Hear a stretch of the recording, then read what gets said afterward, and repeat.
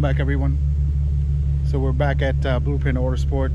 We are tuning a g37 today. We're using uprev. It doesn't have crazy mods just a exhaust and uh and an intake. Cold air.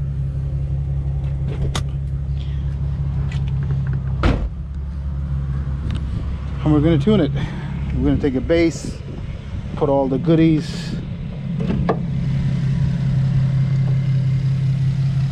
Very well kept.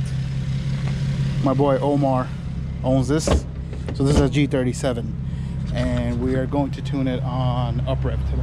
I'm going to try to make it as detailed as possible. All right so uprev unboxing. You get this box nice instructions. Follow the steps to get your stock and back to stock on file and you get a sticker. I'll save this for Omar who's the owner. And let's open it's nice packaging. I like the decor. Oh very nice very nice.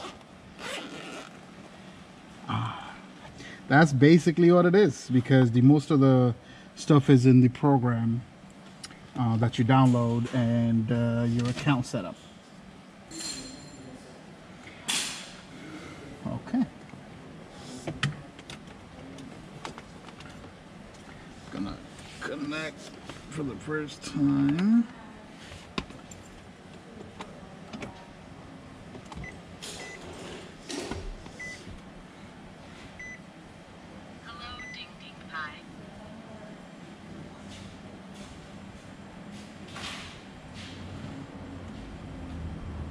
Okay, searching for ECU. Just gotta give it time.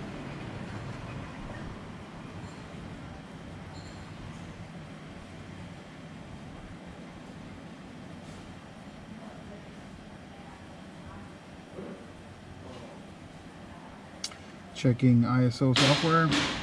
There you go. Now everything is connected. It does take a little bit uh, of time. So let's go if this is actually supported.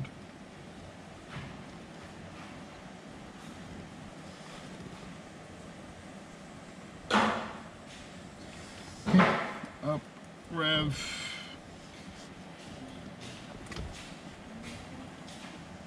These ECUs do brick. So you want to be careful on that.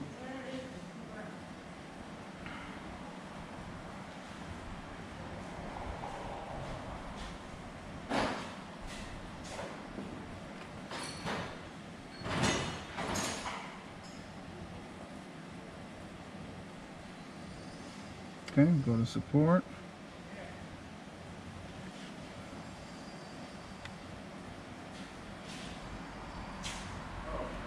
ROM search form.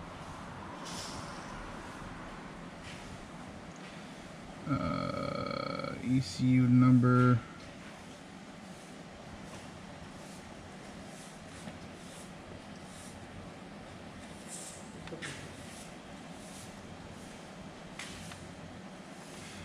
Copy and paste.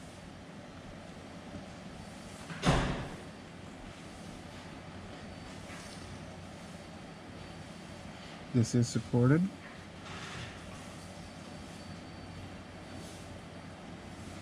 Okay.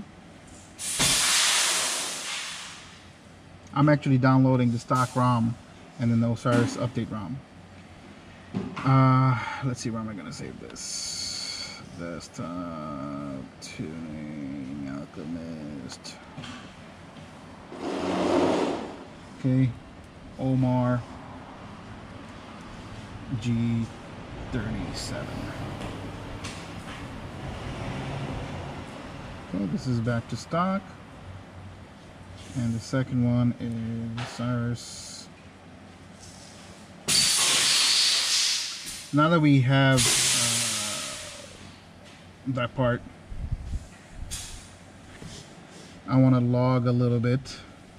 Logging and tracing. Let me see what I want to do. I want to do AF correction. I want to do wide bands for both banks. So here I'm preparing for my base run with my base uh, map in it. The hardware changes that was made was uh, cold air intake and I think a cat delete exhaust, uh, but still stock headers. So I want to scale the MAF MAF first.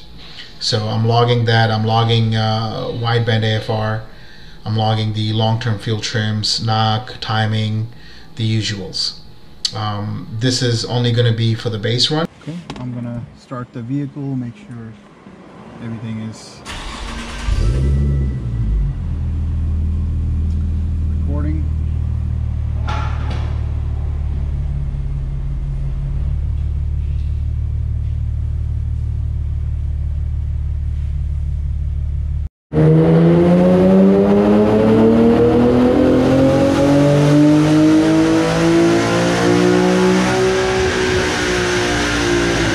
So this is our baseline.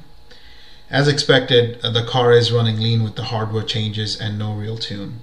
So we're going to correct that first.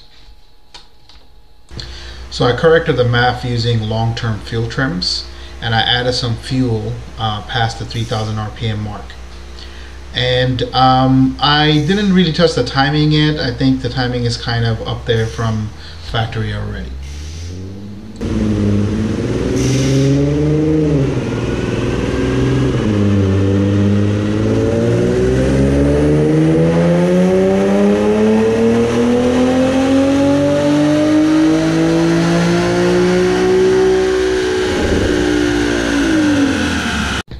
So on this run, the fueling was pretty good. It was doing 12.5 uh, all the way through. Um, a little bit up top, it got a little bit richer, like 11 something, high 11s, uh, and still the stock uh, timing.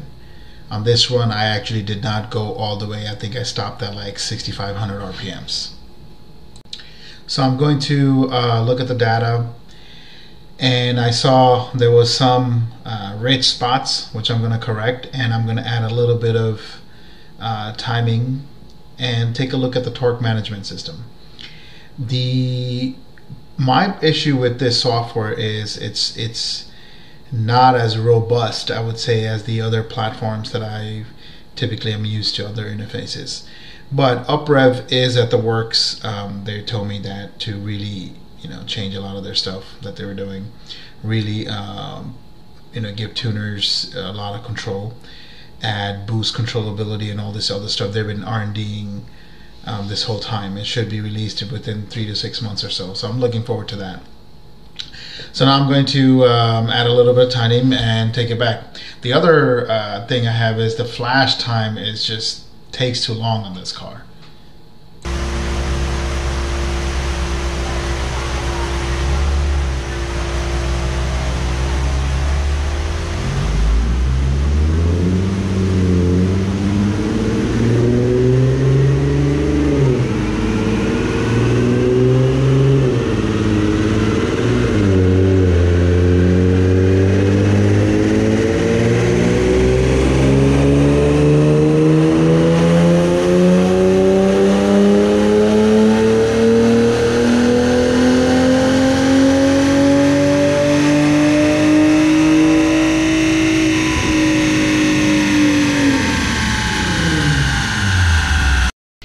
So just adding time in, it increased it to like 290.